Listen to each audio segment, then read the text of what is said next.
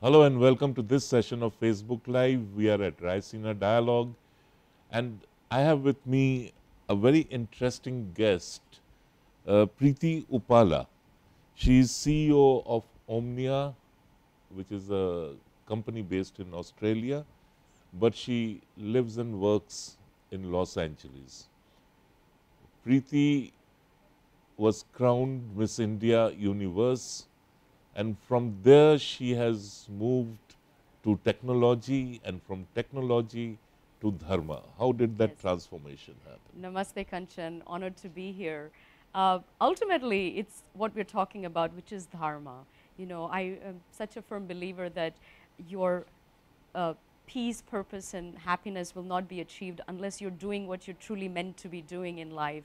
And I had that sort of journey where I transitioned from uh, what I thought was my my thing in life to what I really discovered was my gift to the world. So moving from corporate to um, ultimately to Hollywood and now to more spiritual and philosophical based projects. It's been a, a real journey, but I've learned, I've grown, and I've realized, you know, I've sort of understood what true um, fulfillment means. And Dharma is very much a part of all of that. But that still doesn't explain how did the shift happen.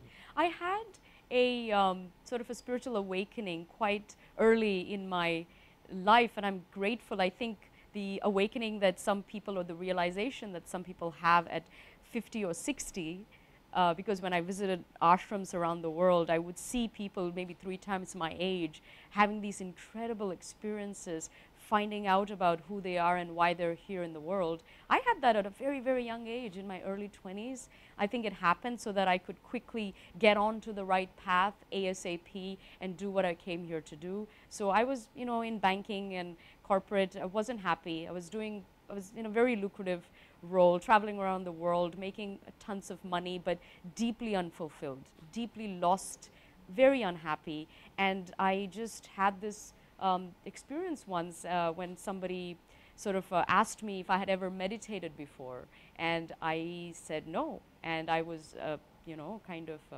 given the opportunity to do that, and that sort of kicked it off because I started listening to my inner voice, my inner self, and also I was so unhappy with what was going on corporate uh, wise because I knew that there was more to my life than what I had been doing, but I just didn't know what it was. So it all sort of unfolded through So the what we are what we are supposed to be talking about is uh, dharma in Yes. the digital age. Yes. So how do you how do you sort of uh, take technology and you take dharma and you fuse them together? Uh, people say that science, technology is antithetical Yes. to everything that is spiritual. It shouldn't be and it's not, depending on which way you look at it. So we live in incredibly uh, intense and dramatic times, right? On the one hand, uh, the world has shrunk to a global village. We're more connected than ever before thanks to technology. But then on the other hand, we are more disconnected among ourselves. We're more isolated, we're more insular. So, um, and you know, when I look at the digital age, the real question is what problems has the digital age brought for us? And the biggest problem is the digital divide. Because as many people as they are that are connected and that do use technology as an asset, there are a ton that don't, and that's the group of the haves and the have nots. So, our big question is how do we transition from the digital divide to the digital div- dividend? But back to your question on how does it all come together, um, I don't think that technology is a uh, obstacle in connecting with yourself. Certainly, when I look at the perspective from Sanatana Dharma, which is sort of my faith, uh, I think it sort of beautifully ties in because this is So what is so unique about Sanatan Dharma that it fuses seamlessly with technology? That is a very, very good question. Uh, it's eternal and timeless, so it's as relevant today as it ever was. But there are some very specific points that I want to touch on, which, uh, you know, in practical sense. So, number one, uh, it uses iconography a lot. You know, it's all about symbols and symbolism, to put it in a very practical sense, and so does the internet and the digital age. So this makes it very easy to sort of cope with technology. You know, Yeah, it, it, it doesn't. why would it make Sanatan Dharma unique? Well, it's it's that's not the case with. Uh, firstly, I don't see it as a religion. I don't see Hinduism as a religion. It's really a civilization, and then more precisely, it's a knowledge system or a set of tradition. And this is a set of tradition that's about relentlessly seeking um, the pursuit of the truth. You know, and how do we live uh, with each other uh, in harmony with ourselves, the universal consciousness, No, Sanatan Dharma means the eternal that which is yes. eternal. Yeah, and absolutely. But I'm saying what it entails. Uh, but you know, and it's it's decentralized. You know, there it doesn't have the set rules as when you look at monotheistic, Abrahamic. Uh, sort of organized religion. So I'm making a distinction between Abrahamic paths and Indic ways of thought, um, and that's where the whole symbolism comes in. That's one reason I would say, but um, I mean, it's uh, just the, the, the pursuit of truth itself and sort of being in complete harmony. Uh, yeah. Give me one example of the work which you do that brings together technology and dharma. Well, you know, in very practical sense, you know, whether it's a meditation app, whether it's an online yoga tutorial, or listening to uh, specific verses, if you like. uh, But all that yeah. has been done before. What is so new about it? No, what I'm, uh, what the point I'm trying to make is that technology is not a barrier, especially when you look at sort of these uh, ways of uh, getting in touch deeper with yourself and getting to know uh, more uh, in touch with also the truth. Yeah. So, are you are you arguing the case that you can be a dharmic Yes. as well as a technologist? Uh, yes, and uh, you know, and, uh, uh, the other point is because you know Hinduism or Sanatana Dharma is decentralized. It uh, just like the internet age, uh, and and just like the internet itself, right? So there are no set rules, and there is no sort of localized destination. It's all pervasive. In that way, it permeates through the sort of the fiber of our being and the sort of fiber of our society in a way. So all of the, these are just uh, mindsets, but it all leads into a way of thinking w- that lends itself to this technological era that we live in. So it's like sort of a very specific. Before we went live, you were telling me how uh, technology can be made into a dharmic asset. What, uh, how does or how can technology become a dharmic asset? Well, the, just like the earlier example with, I know, like you mentioned, yes, this has been done, but the point that it has been done and it only keeps getting, um, you know, more and more innovative, you know, whether it's apps or using online tutorials or tuning in, it, none of this impedes on the real pursuit of truth. And that's the, you know, I mean, it sort of all ties in, and in this sort of crazy world, you can do that for yourself. And it's, a, it's not sort of the foo foo spirituality that you find in the West. It's an honest, sincere seeking, and it's a, a, a genuine pursuit and a genuine experience that one can have.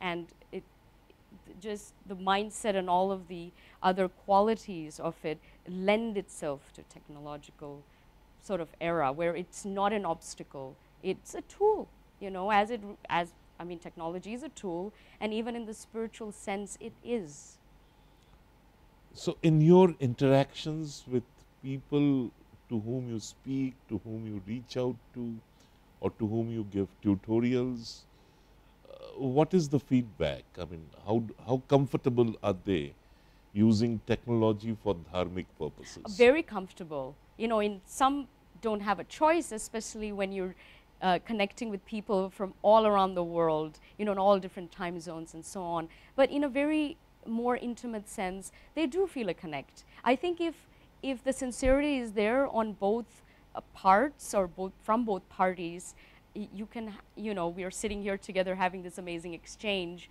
Uh, if we're equally honest with ourselves it could also be done you know via a tool. So it it's the the, the, the, the app or the interface is just there as a tool nothing more than that the sincerity needs to come from within uh, which is the ultimate truth anyway so no it's been very good feedback So, if I were to give you uh, tell you about music.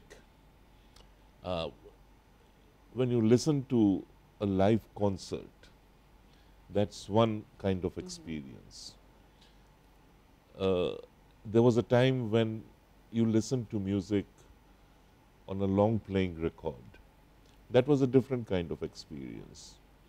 Then you had those uh, cassette players and that was yet another kind of experience and finally you had compact discs Mhm. and now you just download and listen to digital music Click it. Yeah. but it doesn't quite compare to listening to a live concert.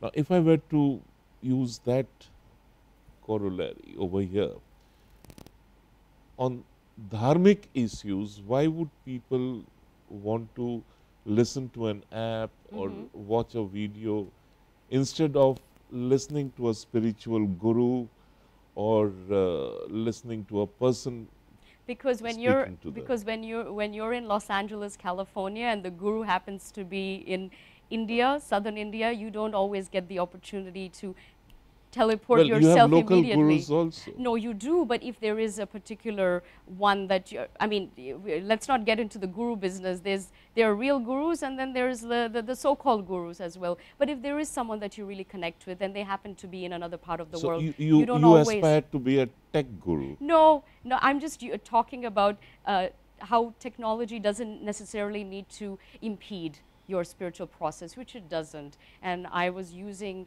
my own personal uh, examples uh, to prove that. But I think, and I mean, I think some of these videos, and we, we've seen, you know, Sadhguru and so many others, they're immensely popular, and it all started from uh, his sort of uh, uh, online outreach, so to speak. And then, of course, you do make that trip.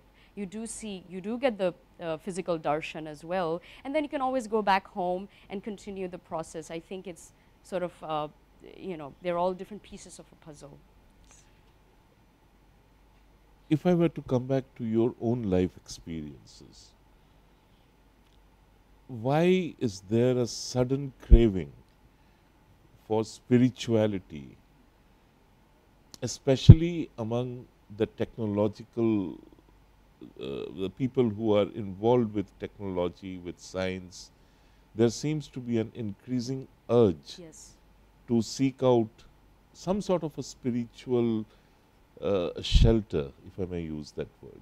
That's a very good point, and we're seeing it all uh, pervasive, especially when you think about Silicon Valley and California and so on and all. I would even add Hollywood to that group. So it's not just the techie people; it's also these these actor entertainment No. types. You know, I, I would, I would talk. I, I- think we could just briefly talk Yeah, talk about about- people who are involved the with tech world. science and technology. Yeah, so two reasons. One is I think with the, we're realizing every day that in this material sort of uh, fast-paced tech world that we live in, that simply doesn't cut it. Because the only thing important is your, uh, how you feel about yourself, you know, your own personal fulfillment, your fulfilling your dharma, and ultimately, of course, moksha, which is liberation of your soul and your ego. Uh, so uh, people are really waking up to that reality around the world, and this is a beautiful thing. I've, this is a So, would you shift. suggest that reason is now taking a back seat? well, reason Because science is about reason and dharma is about faith. so the, I, I said there were two points. So one is people are just increasingly becoming frustrated with the mundane and the material, and they want more. That's one thing. The second is I think there is a shift away from sort of dogmatic or organized religion and a, a move towards more philosophical, whether it's spiritual, whether it's dharmic, Indic faiths. There are several of them, and this group of spiritual but not religious group is enormous around the world and these are the folks that are really craving for something more and they don't discard science they're in fact the new atheists are they marry region uh, reason logic and science with uh, aspects of spirituality they don't sort of shun it all away so I'm there sorry. Preity, we We are, we are, it. we are running out of time. It was, it was a delight listening to you, and I'm sure our viewers also enjoyed. Uh, we'll meet again. absolutely thank you Thank so you, much. everybody, for watching Facebook. Live from Raisina Dialogue.